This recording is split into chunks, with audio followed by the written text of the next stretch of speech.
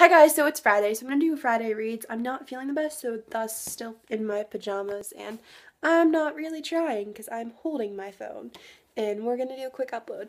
But um, yeah, it's basically where you just tell people where you're what you're reading for this weekend. So this weekend I'm reading Cherished by Kelly Elliott and Glare Central here. And it is book four in the Wanted series, and I'm about 20 pages in. I'm really looking forward to getting more into the series and then I can wait forever for the fifth book. There's going to be a fifth book, I don't know, but I really hope so. So yeah, that's what I'm reading this weekend. What are you guys reading this weekend?